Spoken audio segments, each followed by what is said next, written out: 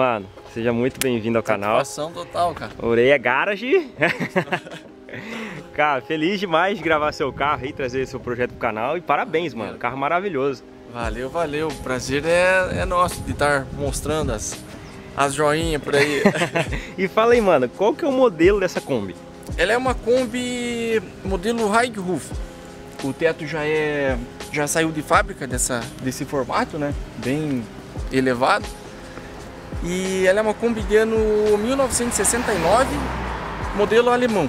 Daí tem a, as diferenças do, do modelo Que principalmente essa frente, né? Isso, o pisca é para baixo, é passagem no meio, ela nesse ano tem a porta de correr, a tampa do porta-mala é maior, lanterna e bastante detalhe, tanto de mecânica, suspensão, uhum. é bem, bem diferente assim, sabe, o modelo.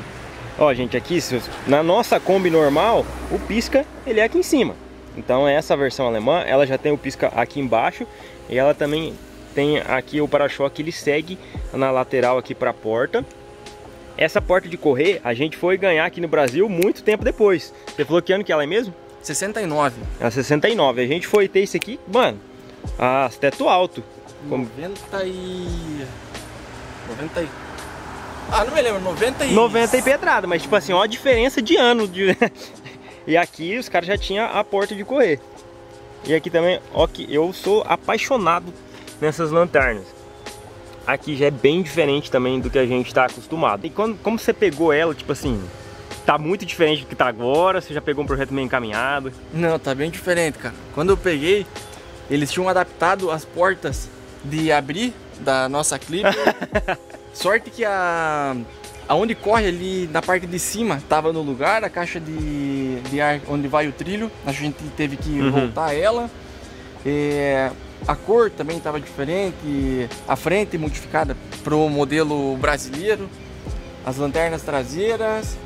Ela é furgão, original furgão, tinham colocado janela ao redor Você tá brincando? Tava bem, bem diferente que você tem aí em mente para cara, falta, precisa no projeto? Cara, a gente tem que fazer ela basicamente inteira.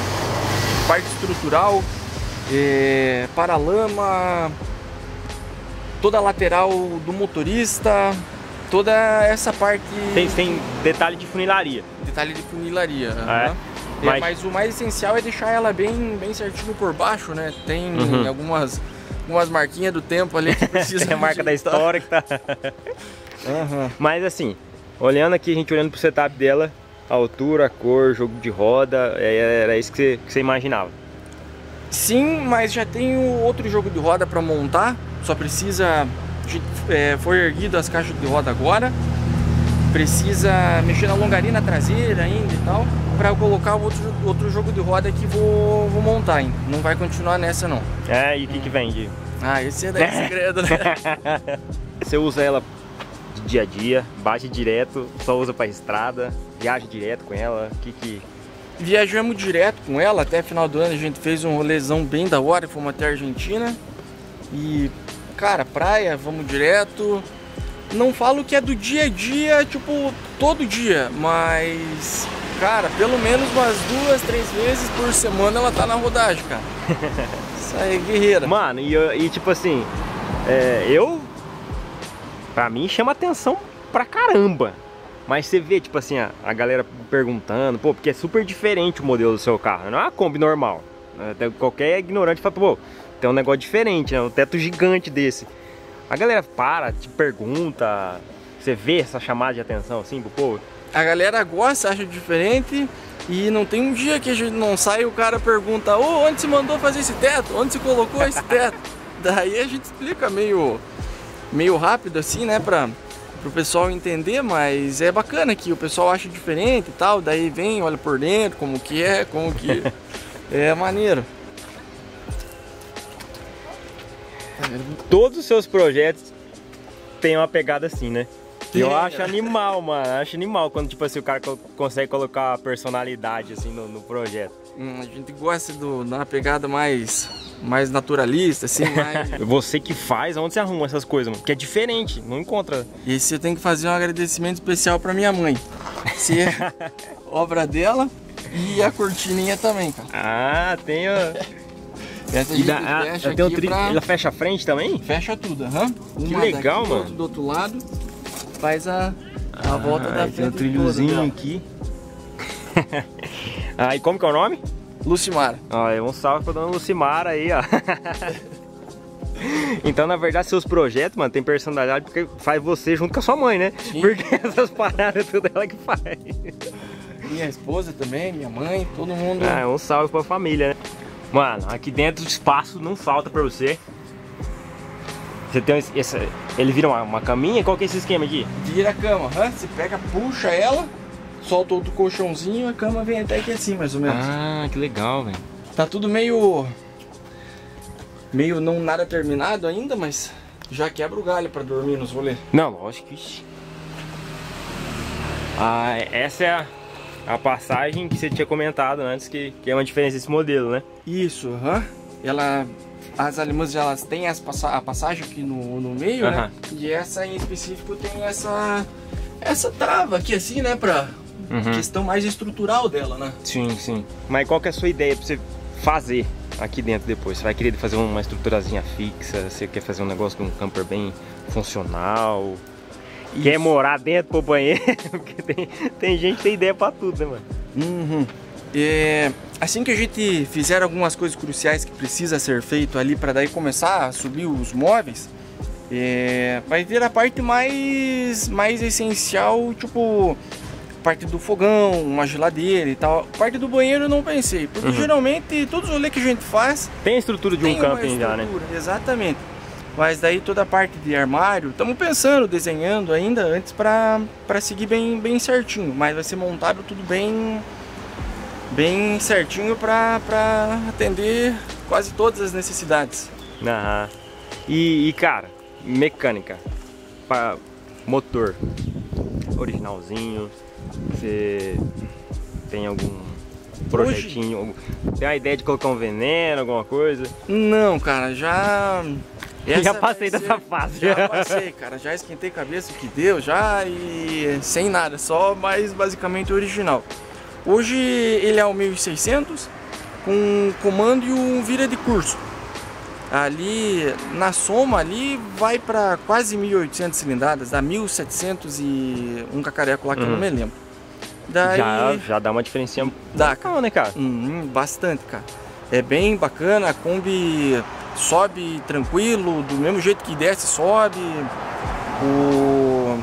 Foi trocado recentemente o câmbio dela também.